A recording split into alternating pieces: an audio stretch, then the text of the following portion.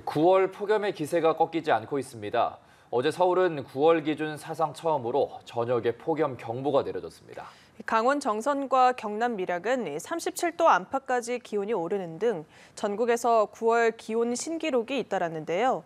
오늘은 늦더위가 절정을 이루겠습니다. 이마경 기자입니다. 추석이 다가오면 잦아들 줄 알았던 폭염은 오히려 더 기세가 강해졌습니다.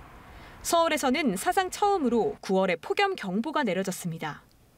지난 8일에 발령된 폭염주의보가 경보로 강화된 건데 이는 기상청이 폭염특보 제도를 시행한 2008년 이후 처음 있는 일입니다. 폭염경보는 하루 최고 체감온도가 35도 이상, 주의보는 33도 이상인 상황이 이틀 넘게 이어질 것으로 예상될 때 내려집니다. 서울에서 9월에 폭염주의보가 발령되는 것도 지난해 처음 있었을 만큼 드문 일인데 올해는 폭염 경보로까지 강화된 겁니다. 곳곳에서 9월 최고 기온 신기록도 속출했습니다. 강원도 정선이 한낮에 37도를 넘어섰고 밀양 36.5도, 대전 36도 등 관측 일에 9월 들어 가장 더웠습니다.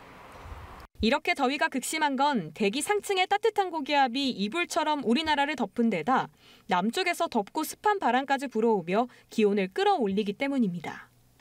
수요일은 서울의 낮 기온이 35도까지 오르는 등 늦더위가 절정에 달할 것으로 보입니다. 동해안을 제외한 전국 대부분 지역에 폭염특보가 발효된 가운데 11일 수요일까지 따뜻한 남동풍이 지속적으로 유입되면서 폭염특보는 확대 강화되겠습니다. 목요일에는 전국에 비가 내리면서 폭염 수준의 더위는 누그러질 전망입니다. 다만 추석 연휴 초반에는 낮 기온이 다시 30도 안팎까지 오르며 덥겠고 평년 기온을 웃도는 늦더위는 당분간 계속되겠습니다. 연합뉴스 TV 임하경입니다.